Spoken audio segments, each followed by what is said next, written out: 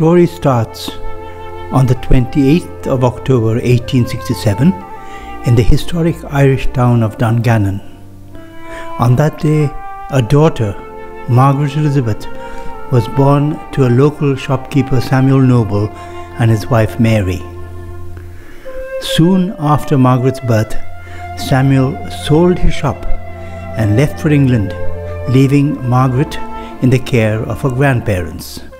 Samuel left the security and comfort of his hometown and went on a journey to fulfill his dream to become a minister of the church and dedicate his life to God following the example of his father John.